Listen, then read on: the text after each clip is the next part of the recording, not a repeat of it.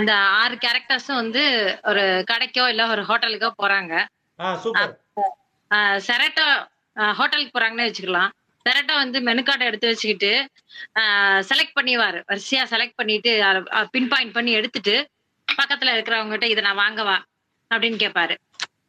ஸ்கர்லாந்தஸ் வந்து நல்லா அனலைஸ் பண்ணி அவனுக்கு என்ன வேணுங்கிறத ப்ராப்பரா செலக்ட் பண்ணிட்டு ரெண்டு எடுத்து வச்சுக்கிட்டு இது வேணுமா அது வேணுமா? தெரியல. டிசைட் பண்ண முடியல.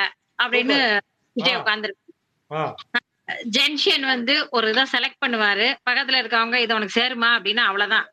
போட்டுட்டு எனக்கு வேண்டாம். அப்படின்னு முழிச்சிட்டு உட்கார்றது. கார்ஸ் வந்து என்னத்த செலக்ட் பண்ணி என்னத்த பண்ண? ஜென்ஷன் வந்து ஏற்கனவே அவர் என்ன நினைச்சிருப்பாருன்னு நான் இது ஏற்கனவே ஒரு தடவை வாங்கினேன். இது எனக்கு ஒத்து வரல. அப்படின்னு சொல்லி அதுலயும் டிஜெக்ட் ஆகுவாரு. கார்ஸ் வந்து வேண்டாம் அப்படின்ட்டு. ஹான்பீம் வந்து மெனு கார்டு இத்தனையும் பார்த்து எப்ப நான் இதெல்லாம் செலக்ட் பண்ணி எனக்கு என்னத்த அப்படின்னு சொல்லி அப்படியே விட்டுருவாரு. அடுத்து வைல்ட் ஓட் வந்து இத்தனை சாய்ஸ் இதுல இருந்து எதை செலக்ட் பண்ண அப்படியே மலைச்சு நிக்கிறேன் இன்னொன்னு பாத்தீங்கன்னா வைல்டு ஓட்டு நாலு ஹோட்டல் ஏறி இறங்குவாரு.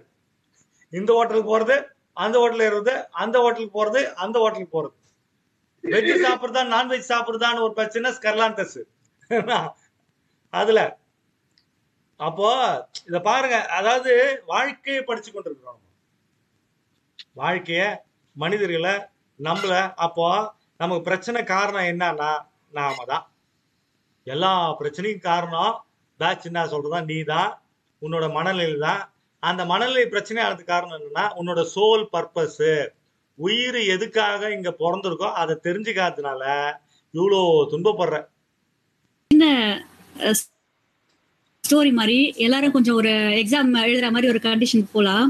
செரோட்டோ வந்து சூஸ் த பெஸ்ட் ஆன்சர் மாதிரி. நாலு ஆன்சர் இருக்குது. எல்லாம் சரியா இருக்கிற மாதிரியே இருக்குது. எதை அட்டன் பண்றதுன்னு தெரியல. ஃபர்ஸ்ட் ரெண்டாவது வந்து பாத்தீங்கன்னா மெதுவா சொல்லுங்க. Yes or no okay okay okay choose the best answer false? கரெக்டா சூஸ் த பெஸ்ட் ஆன்சர் நாலு ஆன்சர் இருக்குது. ஆமா. நாலு ஆன்சர் சூப்பர் கரெக்டா நாலு பேர் நாலு விதமா சொல்றாங்க. எஸ் ஆர் நோ என்னால முடிவு எடுக்க முடியல. ரெண்டாவது வந்து பாத்தீங்கன்னா ஸ்கெர்லாந்தஸ் எஸ் ஆர் நோ சரியா தப்பா. அதுவும் எனக்கு கொஞ்சம் கஷ்டம். அடுத்து junction fill in the blanks மாதிரி. நல்லா போயிட்டே இருக்கு திடீர்னு மறந்து போச்சுன்னா ஃபில் முடிஞ்சிச்சு in the blanks super. Fill in the blanks நடுவுல காணோம். நடுவுல பக்கத்தை காணோம். அதுதான். அந்த மாதிரி அவங்க ஆமா. இது வைல்ட் அவுட் வந்து பாத்தீங்கன்னா மேட்ச் த ஃபாலோயிங் சாரி அது வந்து பாத்தீங்கன்னா எனக்கு எல்லாமே தெரியுது. நான் எதை எழுதுனா அதிகமா எனக்கு மார்க் ஸ்கோர் பண்ண முடியும். நான் எப்படி சாதிக்கிறது? எப்படி சாதிக்கிறது அப்படிங்கிறது அவரோடது. இந்த ஹார்ன்பீம் வந்து இவ்ளோ பெரிய கொஸ்டினா நான் எப்படி எழுதி பாஸ் பண்ண போறேன். இதுக்கு டயக்ராம் போடணுமே. அதுல வந்து கொஞ்சம் மலைப்பாயிடுவாங்க. இதுல சூப்பரான ஆள் யாருன்னா காசு நான் எக்ஸாம் எழுதி என்னத்த பண்ண போறேன்? நான் நிறைய டிஎன்பிசி எக்ஸாம் எழுதிட்டேன். ஏதோ நீ சொல்ற நான் எழுதுறேன். அவ்வளவுதான். அப்படின்னு நினைக்கிறவங்க வந்து கார்ஸ் சோ இவங்க? எல்லாமே வந்து ஒரு விதமான உறுதியற்ற தன்மையில அவங்களுடைய போக்கஸ் இல்லாததுனால வரக்கூடிய விஷயம். எக்ஸாம் எழுதி என்ன பண்ண போற? காசு. எப்படி ஹையஸ்டா மார்க் ஸ்கோர் பண்றதுன்றது வந்து வைல்ட் ஓட்டு இவ்வளவு பெரிய கொஸ்டினான்னு பார்த்து கொஸ்டின் பேப்பரை பார்த்து மலைச்சு போறவன் ஹார்ன் பீம் அப்புறம் வந்து பாத்தீங்கன்னா எக்ஸாம்ல டக்குன்னு மறந்து போச்சுன்னா முடிஞ்சு போச்சு. எனக்கு எல்லா லைஃபே முடிஞ்சு போச்சு அப்படின்னு நினைக்கிறவங்க இதுல வந்து இது சரியா தப்பா நான் எழுதுறது அப்படிங்கறதுல ஒரு கன்ஃபியூஷனு இத்தனை இருக்கே இது எப்படி நான் சூஸ் பண்ணி எழுதுறது அப்படிங்கறது வந்து செரட்டும் இப்ப பாருங்க அந்த அறிவு அடுத்த டைமென்ஷனுக்கு போதணும் இந்த இந்த மலரை பற்றிய அறிவு அந்த மலர் ஃப்ரீக்வன்சி பத்திய அறிவு வந்து அடுத்த டைமென்ஷன் இதுக்கு தான் அந்த டிஸ்கஷன் எடுத்துட்டு வந்தோம் எடுத்துட்டு வரணும்னு நாம சொன்னது. அடுத்த கட்டத்துக்கு அடுத்த கட்டத்துக்கு அடுத்து விட்டு உள்ள போகும்போது நீங்க ஒரு மனிதரை பார்க்கும்போது கரெக்டான ஸ்பெசிபிக்கான ஒரு ரெமெடி கொடுப்பீங்க.